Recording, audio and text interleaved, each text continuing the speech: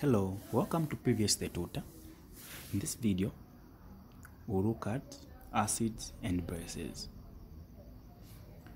We know that an acid is a substance that produces hydrogen ions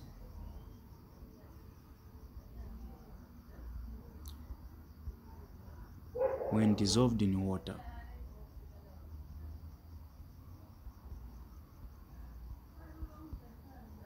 So, a substance that when you put in water, so this is water, at the end of the day is going to give what to call hydrogen ions as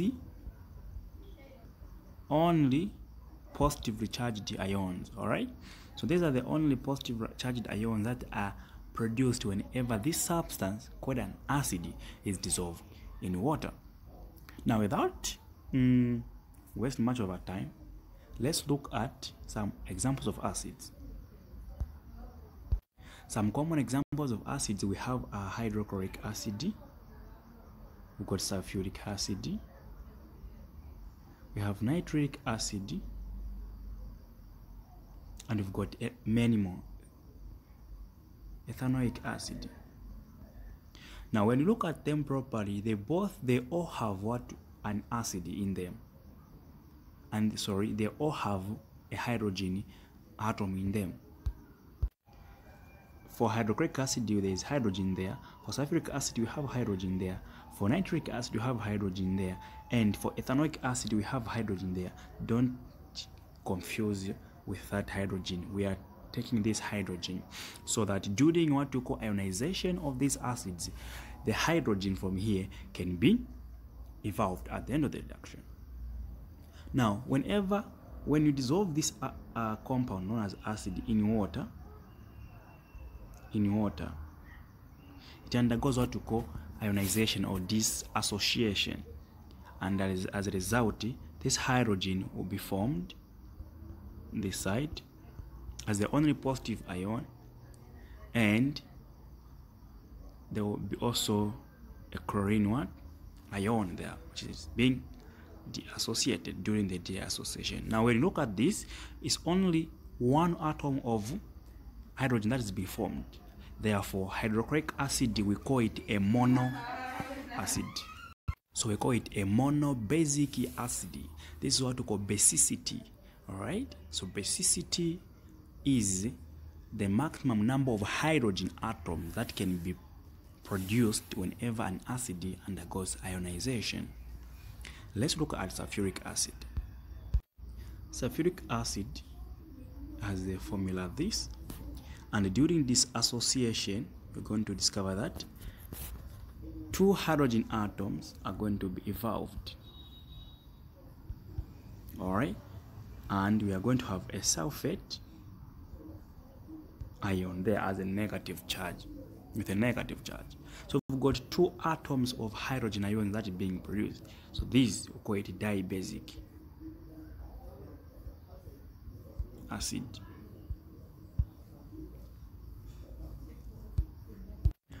Now there are we call strong acids.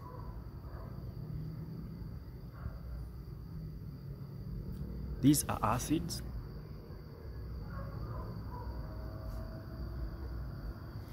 which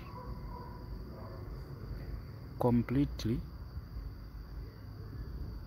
ionize in water. Examples are hydrochloric acid sulfuric acid and nitric acid. These are examples of strong acids. We have weak acids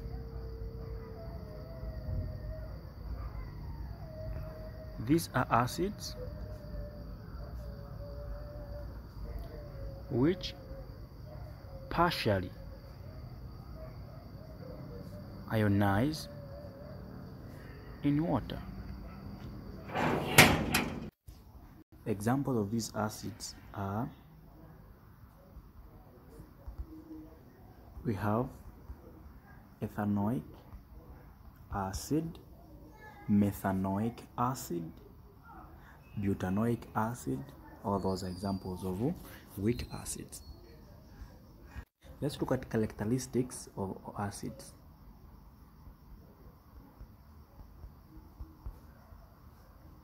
One acids they have a sour taste. Number two acids are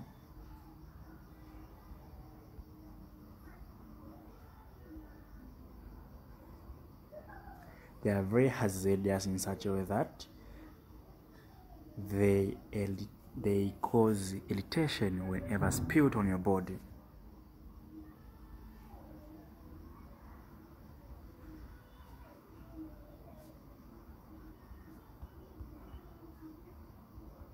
They are corrosive they can react with anything which they come in, in contact with. For example when you put it when you spill acid on a cloth a piece of cloth at the day you're going to find that the piece of cloth has been eaten up that is what corrosive.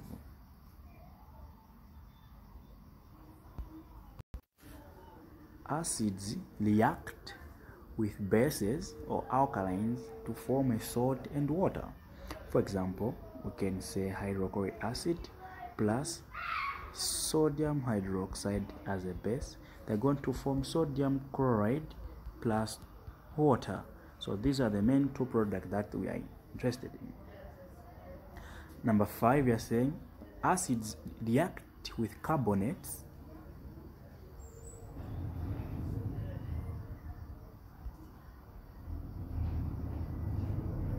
Carbonates to form carbon dioxide. For example, we can say hydrochloric acid plus calcium carbonate is going to form calcium chloride plus plus water plus carbon dioxide. So these are the main products when uh, an acid reacts with a carbonate. Carbon dioxide is evolved there. And in some experiment and in, in some test, you'll be required to do an identity test for carbon dioxide to prove that the gas that has been produced is actually carbon dioxide.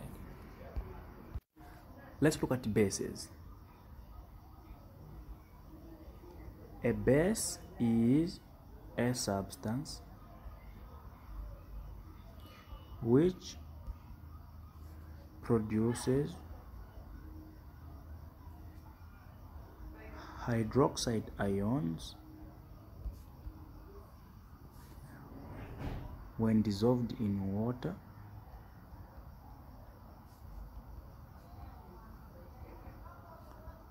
As the only negatively charged ions. So they produce what we call an hydroxide ion which is a combination of oxygen and hydrogen as the only negative charged ion. Now when you look at a base it's it's different from an acid. An acid produces a hydrogen ion which is the only positive ion while a base or an alkaline produces hydroxide as the only negative charged ion. What are strong bases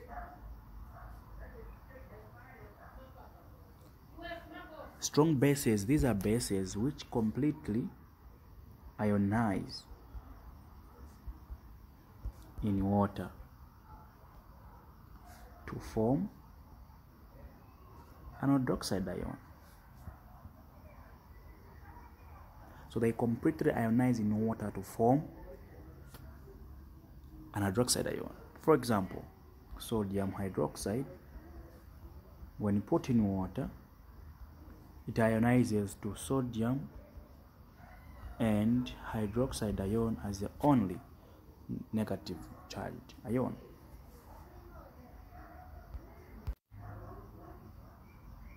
Weak bases these they partially ionize in water to form hydroxide ions. For example, ammonia is a weak base or weak alkaline that when put in water it forms an ammonium ion and an hydroxide ion there so thank you so much. Don't don't forget to subscribe. Don't forget to share. I'm previous the tutor. I'll see you in the next video that will be talking about preparation of salts thank you